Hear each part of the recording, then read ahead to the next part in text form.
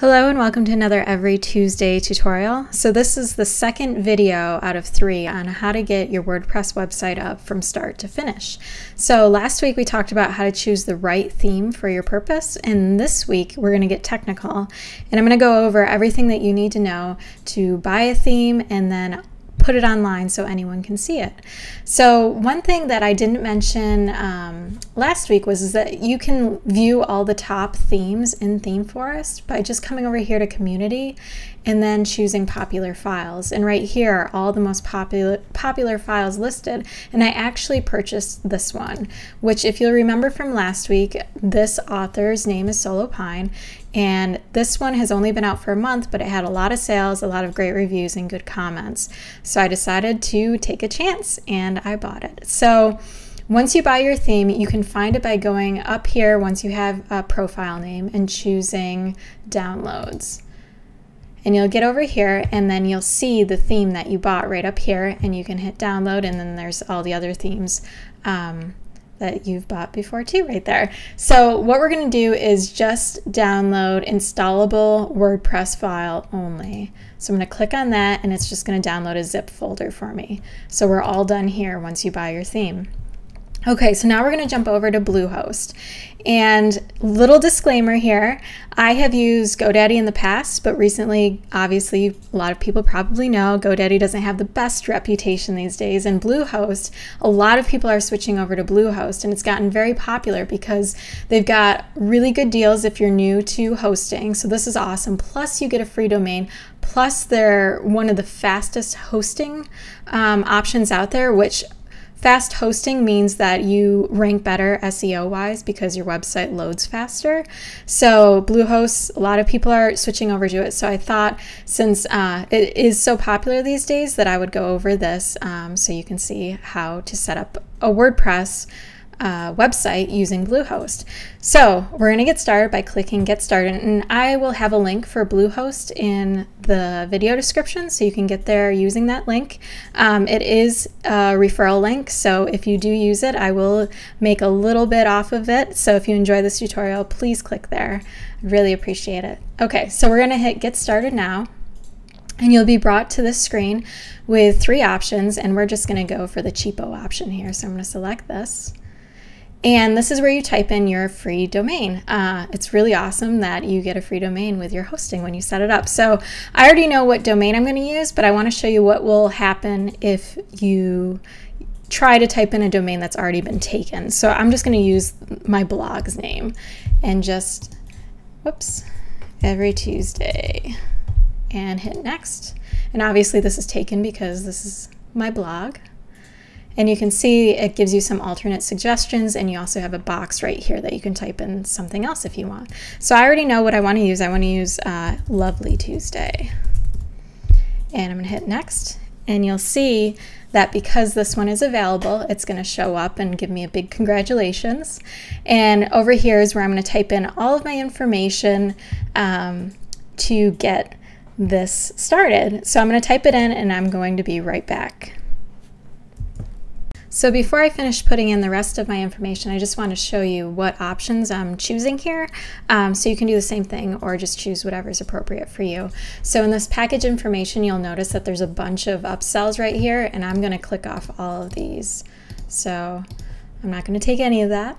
And under account plan, you can see the deal is for obviously the longer time period. And I don't know if I want this for three years, so I'm going to choose the 12 month price, which is a little more expensive. Um, but for me, it's just a little safer of an investment because I'm not sure I want to have this for three years. So I'm just going to choose that.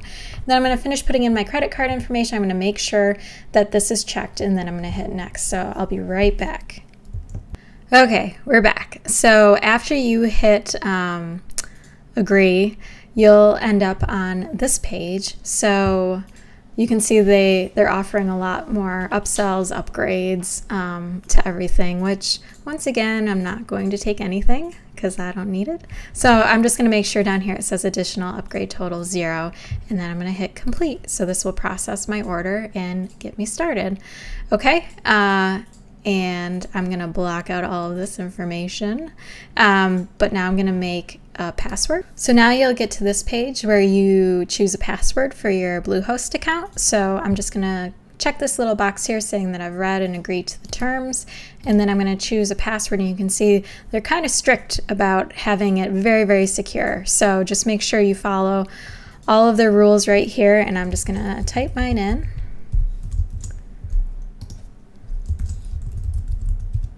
You can also uh, generate a password, but I don't like doing that because then I can never remember them. So I'm going to hit create. Okay, so now I've got um, my login screen. So I'm going to type in the password that I just chose. And now I'm logging into Bluehost. This is my Bluehost login. And this is another upsell, so we're just going to skip that and choose no thanks. And now this is called your cPanel or a control panel. Um, we don't need this because I'm going to show you how to do it, so I'm just going to close that. All right, so now here's where all of your options are, and we need to install WordPress because we're creating a WordPress website. So I'm going to click on Install WordPress.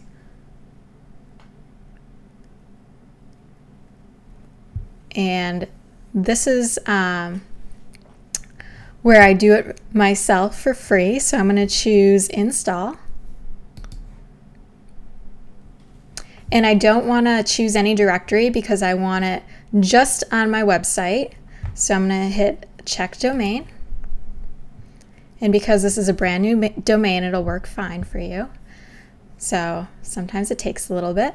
Uh, let's see, I've read to the terms and conditions and sure, let's show advanced options.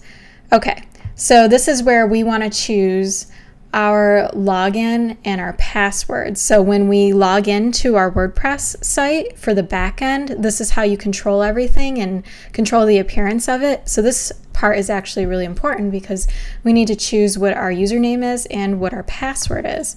So I'm just going to use admin right here and then I'm just going to put password for now. Um, and obviously I'm going to change this before this tutorial airs. So now I'm going to hit install now. Obviously, they want to upgrade you again.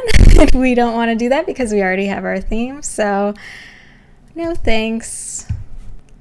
All right. And I will be right back once that install bar is all the way so you don't have to sit here and wait with me. Okay, so once the install is complete, you'll see up here it says install is complete. So I'm going to hit view credentials. And now you can see um, if I hit view right here, I can get all of the information that I need. So right here, this is a very, very important URL. So make sure um, you take note of that, save it somewhere because this allows you to always log in to your backend. So I'm going, and you can see right here, this is my login information that I'll need. So I'm gonna click on this and our username, admin, and the really lame password that I chose. And I'm going to hit login and I'm not going to save it because I'm definitely going to change that password. So log in. And now we're in our back end of our WordPress site. So this is where we're going to create all of our content, add anything that we want to. This is really how we get started with editing and putting everything live that we want in front of people. So I'm going to come over here to appearance and choose themes because now we're going to upload the theme that we bought earlier and I'm going to choose add new. And from here, I'm going to choose the file that we bought earlier. So for me, um, it's in my downloads and it's the Rosemary blog theme. So I'm going to hit open and then I'm going to choose install now. And once this installs, you can see theme installed successfully, and I want to live preview it before I activate it just to make sure that I'm happy with how it looks. So yeah, this is exactly how it should look because this is very bare bones uh, because no content has been added to the theme yet, but I've got all the tools that I need to create whatever I want using the theme. So I'm going to save and activate it. So now if I go to lovelytuesday.com, that should show up and it does. So now anyone in the world can see what I just did and it was really quick and really easy. So if you enjoyed this tutorial, please subscribe and please make sure to stop back next week so you can see where we finish off this series of creating a WordPress website from start to finish. Next week I'll go over all of my favorite plugins that I use and we'll start putting content into our theme and I'll show you how to do that in the back end. So once again, if you're interested in starting your own website, uh, and you want to use Bluehost, please click the link in the video description and I will see you next week.